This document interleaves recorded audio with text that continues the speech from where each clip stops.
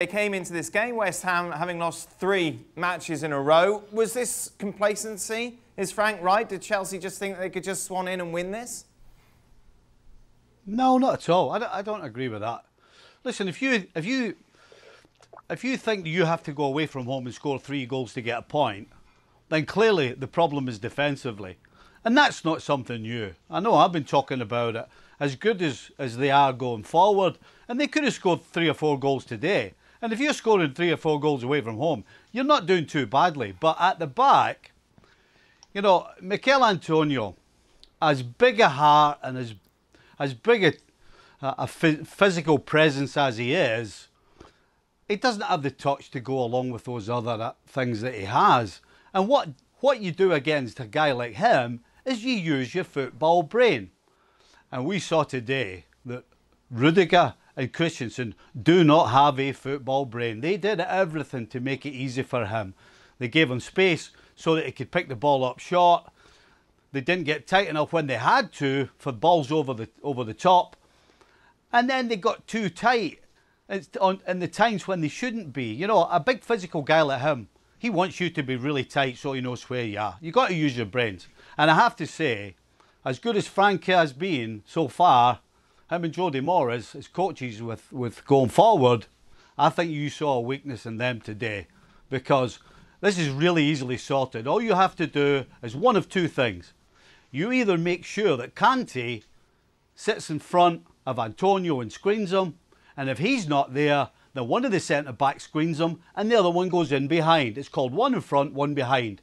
That means the only ball that's beating you is a big long ball away over the back, and you should be able to deal with that. I think that's down to the coaches because they never saw it and they never changed it. Stevie, if it's that obvious to what? you, why isn't it obvious to them? Well, because teams don't do that. You know, I, I hear people talking all the time about, oh, the game's moved on. Well, I tell you what, the game may have moved on in certain areas, but it's also gone backwards in others. And that's one of them. You know, teams don't know how to defend properly anymore. You know, uh, listen, I joined, I joined the European champions, and it was the first thing I learned.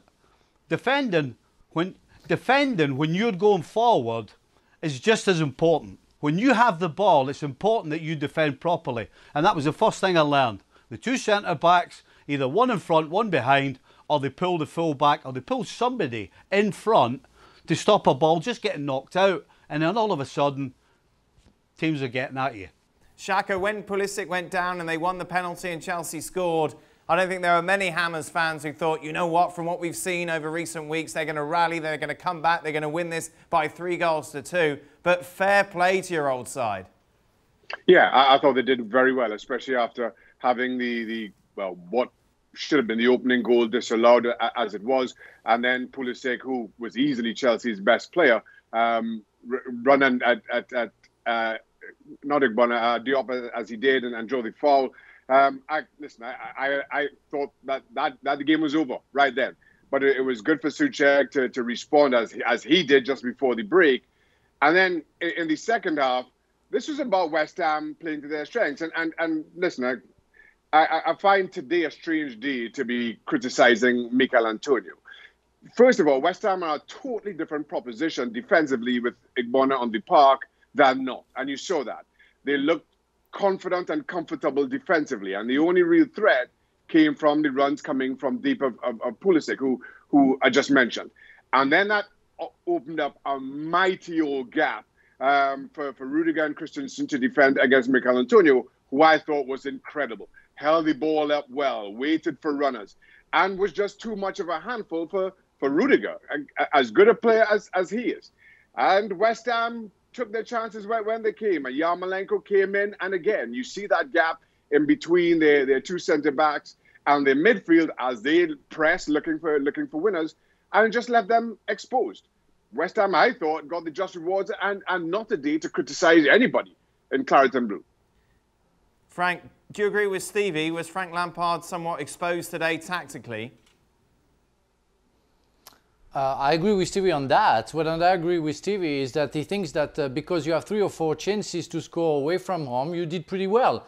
I mean, and after he makes a, a big lies, lies about uh, about the fact that Chelsea didn't defend well, where I think away from home, that's the first uh, things that you have to do. Defend well. Can you imagine that you are at the 90th minute and you concede a goal in contre-attack when you play away from home?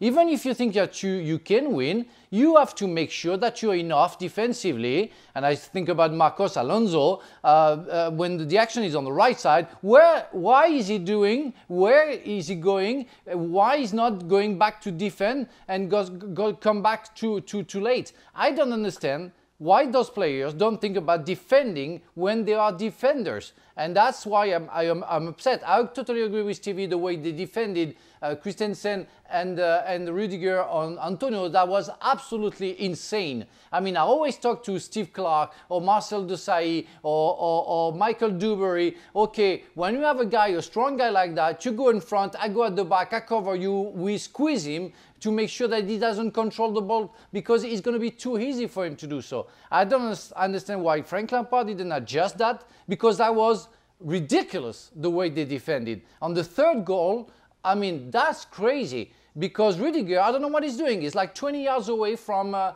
uh, from his partner mm. and let Yarmolenko going uh, uh, anywhere and score a goal. So yeah, I'm, I'm upset because I think it's not the way I was taught to, to defend away from home.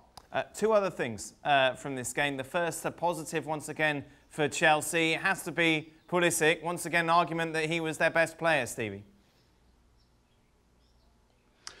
I, I don't think it's in question. Um, you know, he he got the penalty, he got the free kick for the two goals he did get. He actually got himself, he ghosted into a little spot right in the edge of the penalty area in the first half where I thought he actually probably at least should have hit the target. Uh, and he was lively. So yeah, he was he really was a threat uh, for Chelsea today, no question. He was their main their main forward, no no doubt about that.